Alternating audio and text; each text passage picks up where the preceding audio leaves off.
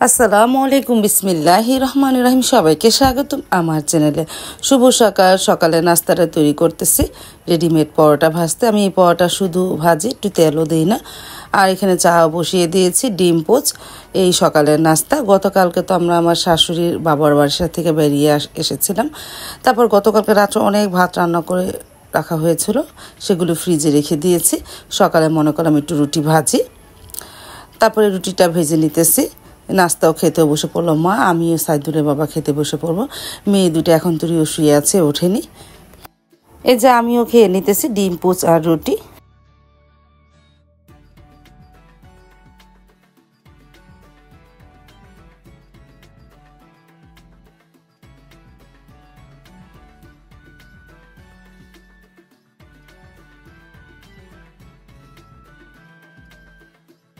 তারপর তো ঘণ্টা তিনিক পর রান্নাঘরে চলে আসলাম, ঘর গুরু গুছালাম। আর এদিকে আমার বাসায় যে ভাবি আমার সাথে কাজে সাহায্য করে, তাকে দিয়ে এই কচিগুলো কাটিয়ে নিয়েছি প্রেশার কুকারে এখন সিদ্ধ করব। আর এদিকে গজার মাছ লবণদা রেখেছি সকালে উঠেই গজার মাছ ভুনা করব ওস্তা ভাজি। ওস্তা ভাজি মেয়ের জন্য অবশ্য অল্প একটু করতেছি। আর এদিকে একটু শুটকি রান্না করব। গজার মাছের মশলাটা কষানো হয়ে গেল। ধুয়ে রেখেছি গজার মাছ আর আলু। এখন এর মধ্যে দিয়ে কষিয়ে নিই।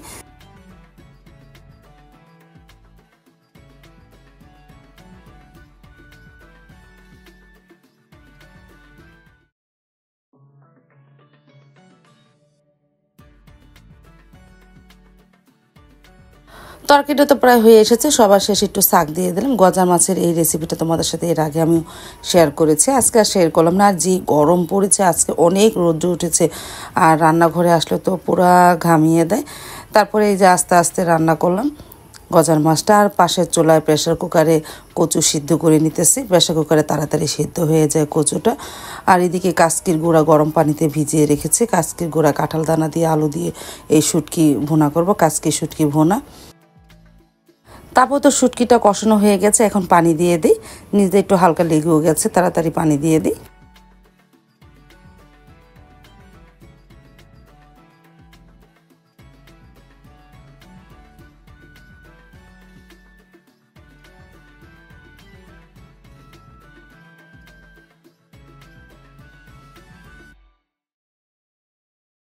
তারপর তো দুপুরে রান্নাটা কমপ্লিট করে ফেললাম, কি কি রান্না হলো, আজকে আর ভাত রান্না করি না, কারণ গতকালকে রাত্রে তো ভাত রান্না করেছিলাম অনেক, তাই রয়ে গেছে ফ্রিজে রেখেছিলাম গজার মাছ ভোনা আলু দিয়ে আলু দিয়ে, কাঁঠাল দেনা দিয়ে কাজকি শুটকি ভোনা, আর এই যে ভাত, ওভেনে গরম করে আনলাম, এই দুপুরের মেনু তারপরে সাইদুলে বাবু চলে আসলো, প্রায় বেজে গেছে দেড়টার মতন মা সাইদুলের বাবা সারামণিও খেতে বসে পড়ল, আমিও খেতে বসে পড়ব, আমি অবশ্য ভাত খাব না।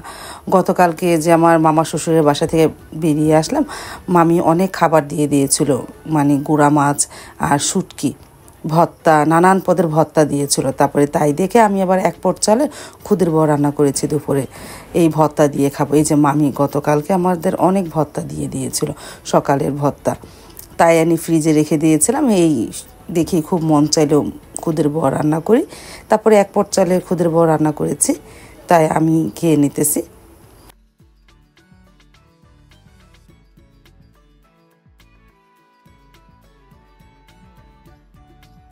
তারপর তো বিকেল দিকে তো আমি হাঁটতে বের হয়েছিলাম, বালাসুর হয়ে এসেছি।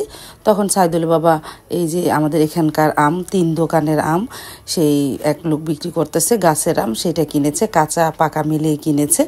এই আমগুলো খুব ভালো। আর দুটা কাঁঠাল কিনে দিয়েছে। একটা কাঁঠাল ভাঙিয়ে যেহেতু বিকেল দিক দিয়ে হেঁটে চলে আসলাম, তারপর একটা কাঁঠাল ভাঙলাম, ভেঙে মাকে দিলাম, সারা সাবা খেলো।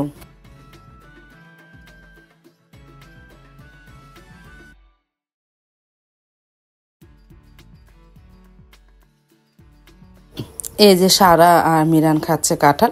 কাঁঠালের রোয়াটা একটু ছোট হয়েছে, কিন্তু মিষ্টি ছিল। আমি এক রোয়া বেশি আর খাইনি।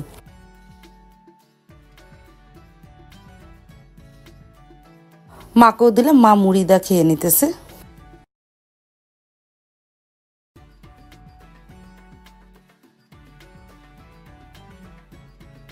তারপরে সন্ধ্যার সময় সে দেশি আম কাটলাম। আমগুলো একটু হালকা টক আর মিষ্টিও ছিল মানে টক মিষ্টি মিলানো ছিল, অত যে টক তা না। তারপর ভালোই লাগল খেতে আমগুলো।